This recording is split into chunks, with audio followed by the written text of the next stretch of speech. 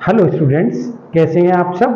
आज का जो हमारा टॉपिक है, वो कॉम्पिटिटिव एग्ज़ाम्स की दृष्टि से बहुत ही इंपॉर्टेंट है। और वो टॉपिक हमारा क्या है? वो टॉपिक हमारा है रणधीर सिंह ओसीए के पहले भारतीय अध्यक्ष। पाँच बार के ओलंपिक निशानेबाज रणधीर सिंह एशियाई ओलंपिक परिषद, अर्थात ओसीए के पहले भारतीय अध्यक्ष सर्वसम्मति से चुने गए हैं। मैं हूँ विवेक सक्सेना और आप देख रहे हैं साहित्य भवन का यूट्यूब चैनल यदि आप किसी प्रतियोगी परीक्षा की तैयारी कर रही हैं और मेरे यूट्यूब चैनल पर नए हैं तो इस चैनल को अभी सब्सक्राइब कर अब आते हैं अपने टॉपिक पर। रणधीर सिंह ओसीए के पहले भारतीय अध्यक्ष इनका कार्यकाल कब तक रहेगा? तो इनका कार्यकाल जो है, वो वर्ष 2024 से वर्ष 2028 तक रहेगा। वह अभी तक एशियाई ओलंपिक परिषद के कार्यवाहक अध्यक्ष थे।